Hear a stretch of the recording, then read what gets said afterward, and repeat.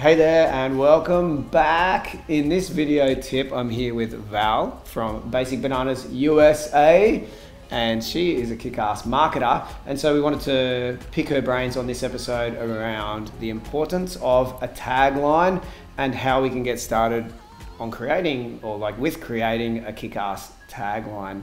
So what do you reckon?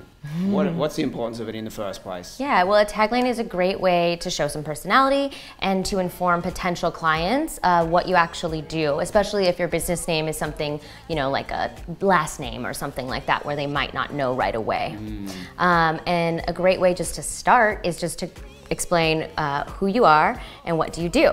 So Basic Bananas, we have Basic Bananas, uh, small business marketing made simple.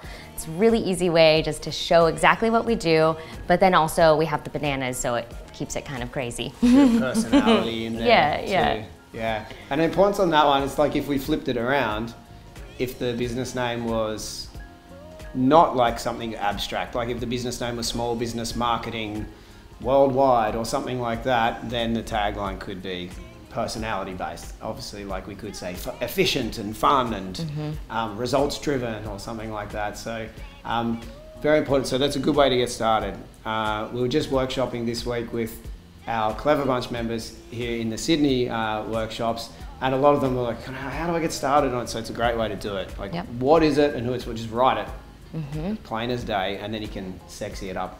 yeah, use this, use a thesaurus, find some fun words, see what other people in the space are doing, and just really make it unique for you.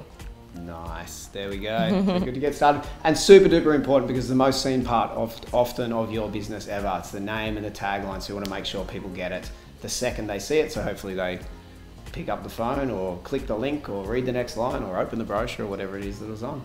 Uh, awesome. Thank you. Thank you. uh, so, if you've benefited from this tip, or share this with someone who you know might have a abstract kind of business name and that you know could do with a tagline. Uh, anyone that you know in that space, or of course yourself, workshop it. If you've got any questions around this, feel free to send those through to us at Basic Bananas.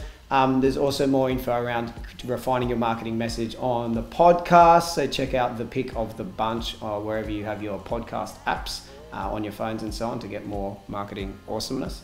And until next time, keep creating ripple effects, and we'll see you on the next episode. Bye for now.